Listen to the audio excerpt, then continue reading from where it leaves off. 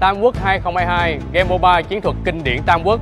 Đây là game mobile đầu tiên tạo lối chơi bản đồ lớn theo phong cách liên thành lũy, vừa tha hồ chiến đấu vừa tự do suy toán mưu lược. Lúc bắt đầu, người chơi bình thường luôn thích chọn ngụy hoặc thục. Cảm giác vật tư phong phú chắc chắn có thể nhanh chóng phát huy, chiếm giữ thời cơ. Thật không ngờ, tuy nhiều tài nguyên nhưng lại có nhiều xung đột do tài nguyên gây ra. Hơn nữa, từ xưa thục và ngụy mâu thuẫn không ngừng, chiến tranh liên miên. Bất cẩn sẽ đối mặt với rủi ro diệt quốc. Còn người chơi VIP khi bắt đầu lại thích lựa chọn đông ngô tránh xa khói lửa chiến tranh. Mặc dù tài nguyên không bằng hủy và thục, nhưng không cần lo lắng phát huy thời gian đầu.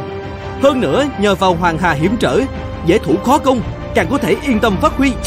Chờ khi ngụy và thục đánh nhau lưỡng bại câu thương, nước ngô từ lâu đã binh hùng tướng mạnh, có thể xuất binh thu dọn tàn cục bất cứ lúc nào, thống nhất thiên hạ.